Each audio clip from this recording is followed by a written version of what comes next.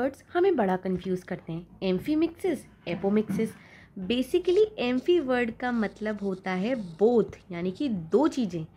Mixes word का मतलब होता है मिक्सिंग दो चीज़ों की मिक्सिंग मतलब मेल गैमेट का जब फीमेल गैमेट के साथ फ्यूजन होता है, जिसे हम फर्टिलाइजेशन कहते हैं एज अ रिज़ल्ट हमें एक सीड मिले तो इसे हम बोलेंगे amphimixis in short we are talking about sexual reproduction apomixis actually में तो एक टाइप का असेक्सुअल रिप्रोडक्शन होता है, जो कि मिमिक यानी कि कॉपी करता है सेक्सुअल रिप्रोडक्शन का। और कमाल की बात है, इसमें भी हमें रिज़ल्ट में सीड मिलती है बट यहाँ पर देयर इज़ नो फर्टिलाइजेशन मतलब बिना फर्टिलाइजेशन की ही आपको सीड मिल जाती है।